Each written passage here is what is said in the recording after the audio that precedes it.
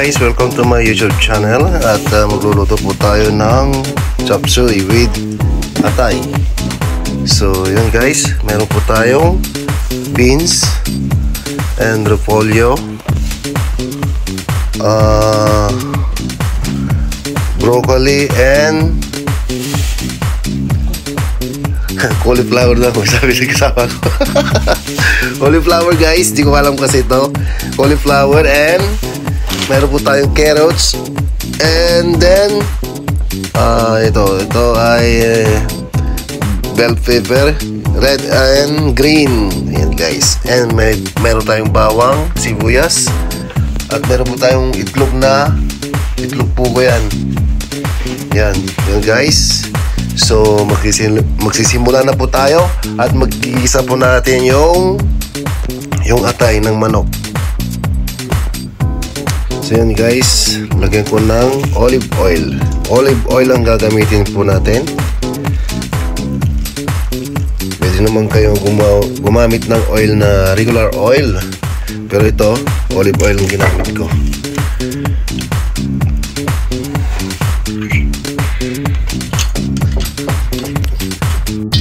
So yan guys, lagay natin yung bawang. Saka yung sibuyas.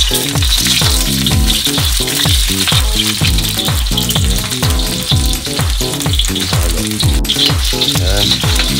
Halo-haloin natin hanggang mag-brown yung bawang. At lagay na natin yung ito, uh, liver ng manok. Kasi matigas to, kailangan po natin unahin.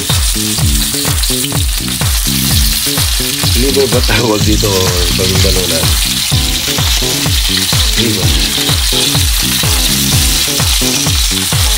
Tapos yung atay ay ano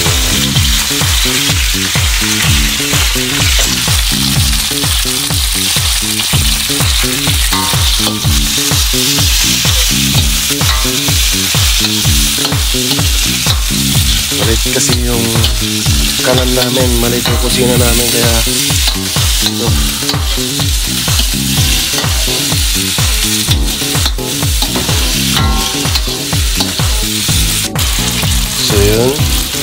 Lagay na po natin yung atay.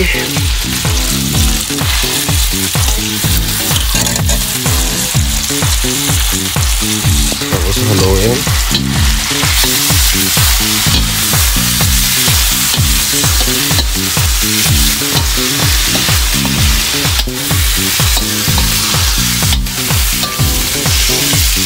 carrots guys kasi matigas yung carrots kaya unahin natin bago mo yung mga ibang gulay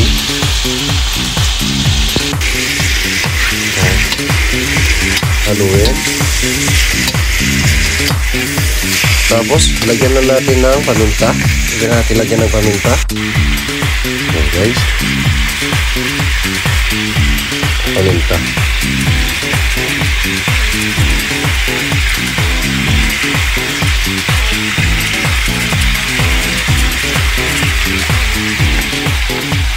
Tapos haluin ulit.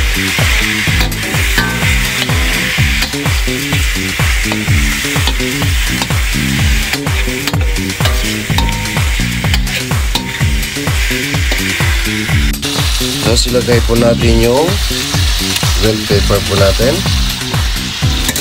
Gumamit po ako ng red at saka green yung bell pepper.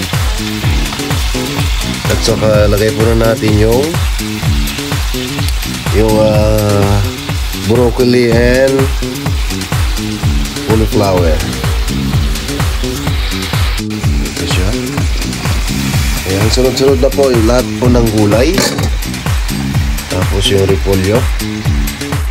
Tignan po natin yung repolyo.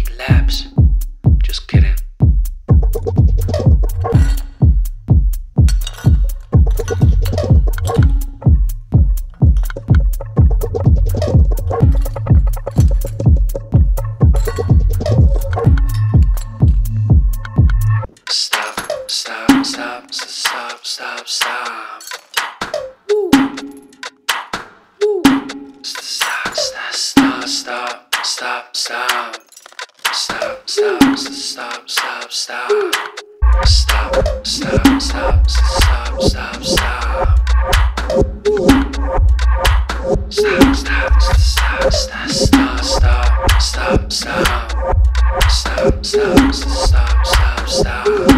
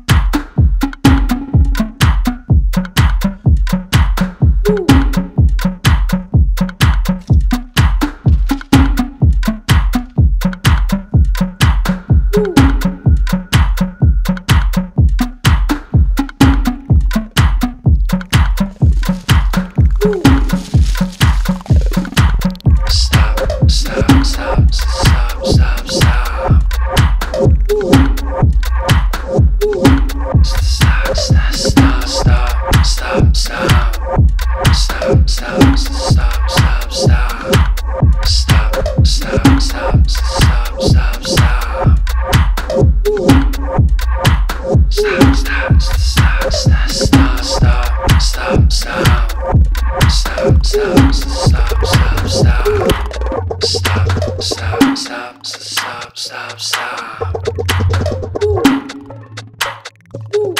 Stop, stop, stop, stop, stop,